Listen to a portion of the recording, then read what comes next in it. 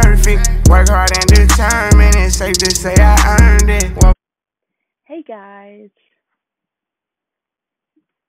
it's online school week two.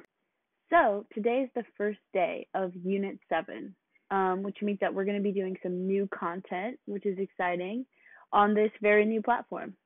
Since we're all such diligent scholars, I know that we all have our notebooks open already, and we have pens and pencils in our hands, and we're ready to take a bunch of notes on our brand new unit.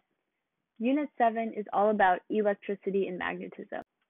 Today is Unit 7, Lesson 1. Your note should be titled Introduction to Static Electricity. You should remember this from chemistry, but we're just going to do some quick review about um, what exactly an atom is and what are the parts of an atom. So, atoms are made up of electrons, protons, and neutrons. Um, protons are positively charged, electrons are negatively charged, and neutrons, of course, are neutral and you have protons and neutrons um, in the nucleus, and then you have electrons um, orbiting outside of the nucleus.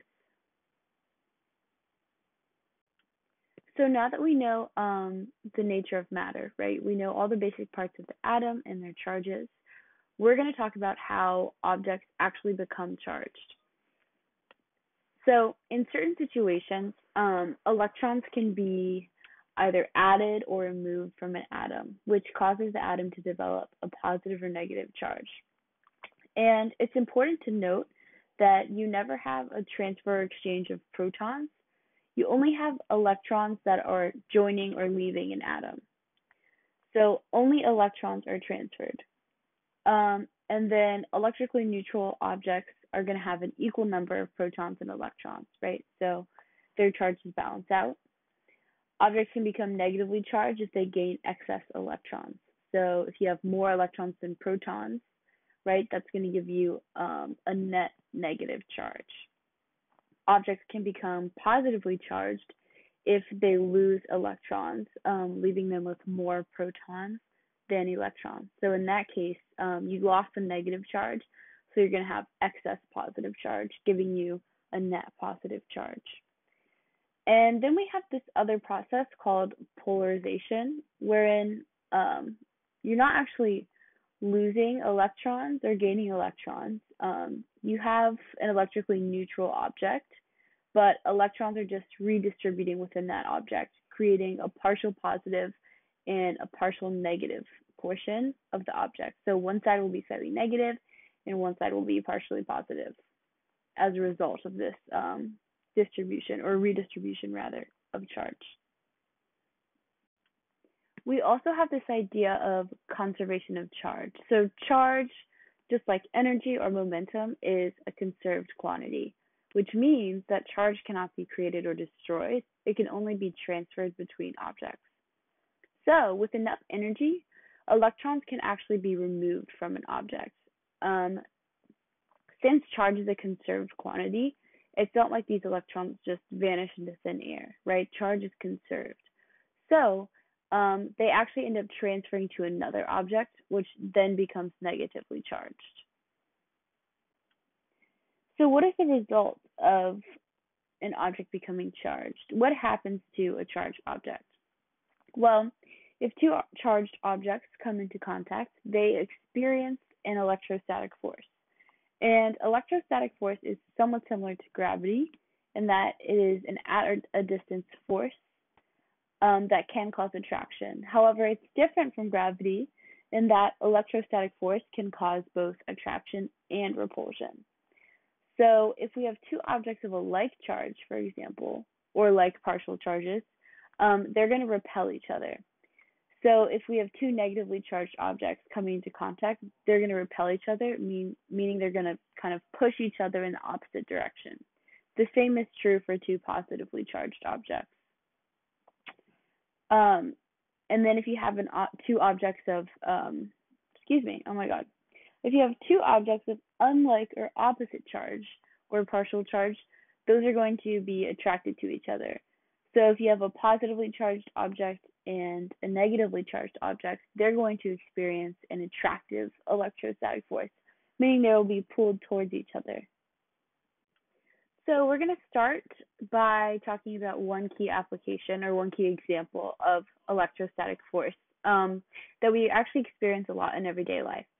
So if you have ever been like walking around the house in your socks and then you touch a metal doorknob and you feel a shock, um, that is one example of something called the triboelectric effect.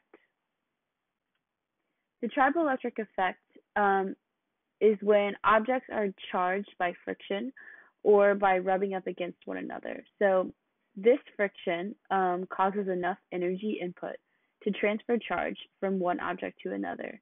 So when you're rubbing your socks against the carpet, for example, um, charge is transferred, electrons are transferred from the carpet to your socks. So you, in effect, become um, charged. And the result of this effect is static electricity. So static electricity occurs when there's a buildup of charge on an object. And this charge will eventually flow to another object, neutralizing the charge. So you rub your um, socks on the carpet, and you, in effect, become negatively charged because um, electrons move from the carpet to your socks. When you touch a metal door handle, the electrons leave your body and you feel a shock. So we're going to look at this other example in a little bit more detail because it also helps us understand the concept of polarization. So make sure you're writing this example down. This is one of my favorite examples of the triboelectric effect.